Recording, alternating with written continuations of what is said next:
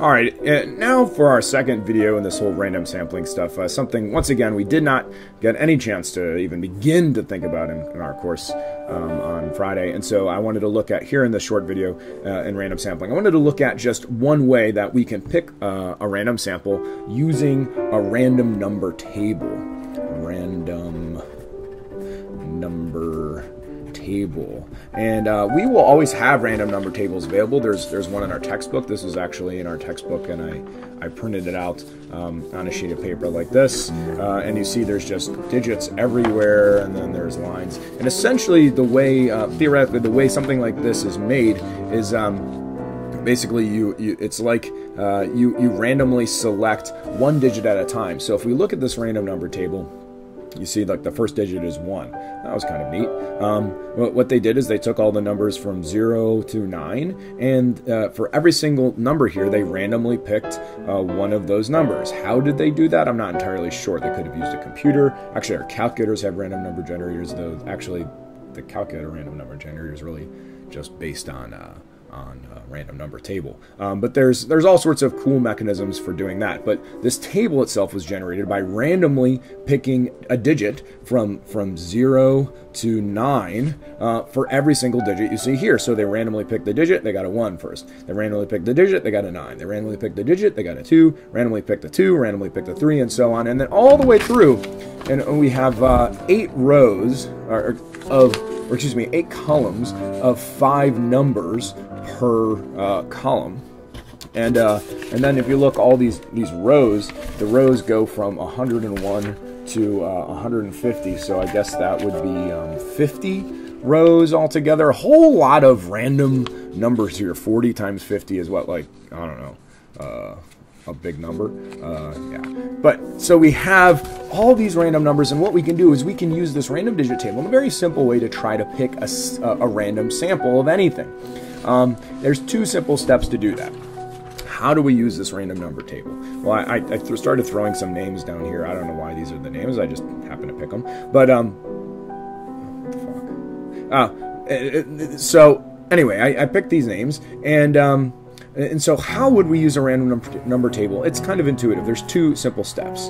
Um, two steps. The first step is that we would have to assign a number to all of uh, the names in our list. Like, so for instance, um, right now I only have eight names, right? So I could assign Amy 1, Bob 2, Carl 3, David 4, Evie 5, Frank 6, Gina 7, and Harriet 8. Of course, notice I put this little dot, dot, dot here because I was thinking maybe this would continue out for every letter in the alphabet. Notice I was just going up A, B, C, D, and so on, etc., and so on. So let's say there was 26 names here altogether, right?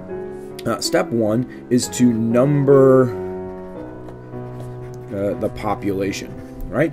Um, now we need to number them in some kind of uh, useful way, and, and and we we have to pay careful attention to the number of digits, right? Because as uh, the, uh, uh, we, we have a larger and larger population, we'll have to think about how many digits are required to number that population. So, for instance, if I was only going to have um, uh, 1 through 8, right?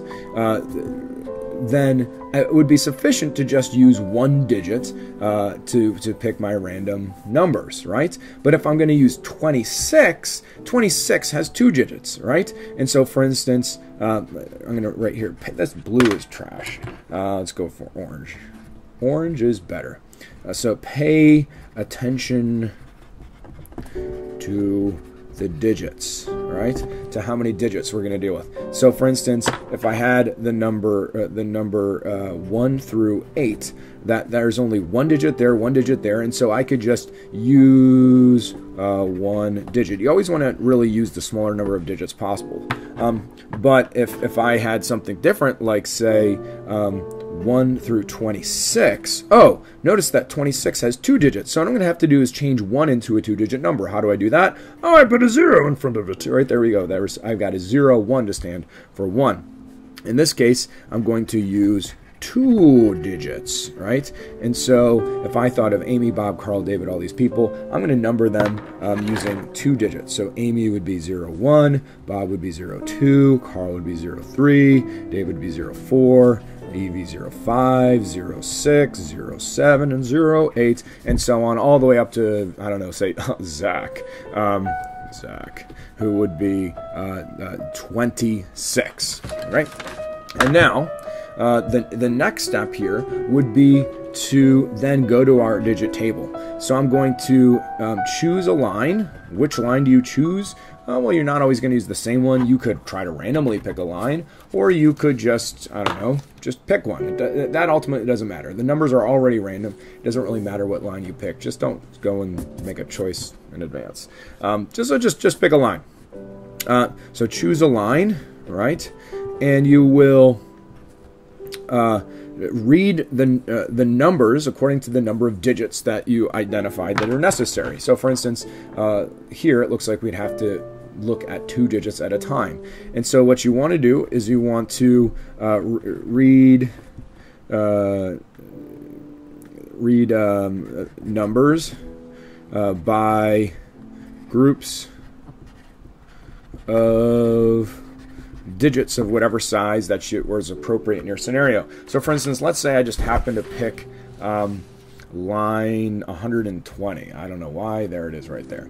And so what I'm going to do is I'm just going to start picking. This is a terrible line, but it's all right. Um, I'm going to start picking numbers that are two-digit numbers, um, and I'm going to.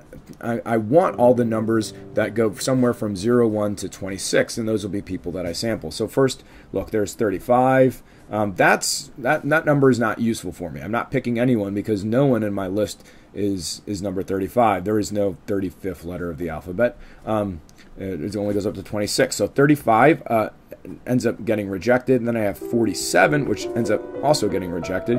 Then I have 6, and I go all the way over here to 65, um, and that gets rejected. And then 59 gets rejected, and 72 gets rejected, and 39 gets rejected, and 42 gets rejected. Ah! But check it out!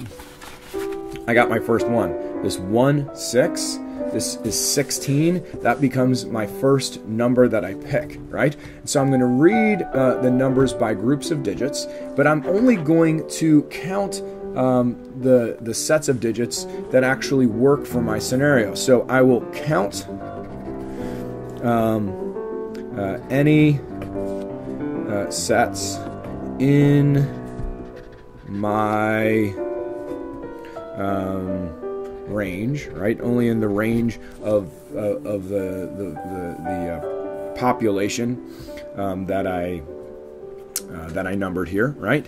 And uh, I'm only going to count the ones. I'll reject any of them that don't fall in there because the numbers are too big.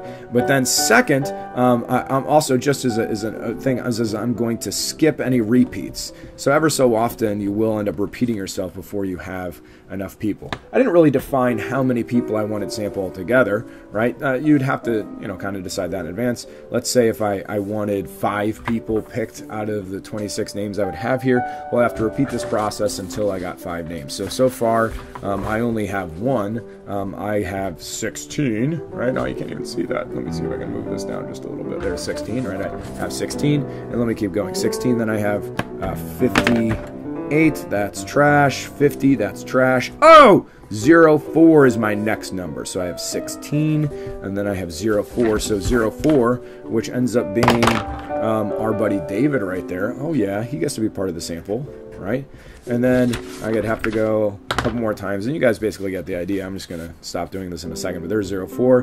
26 is out. Uh, 63 is out.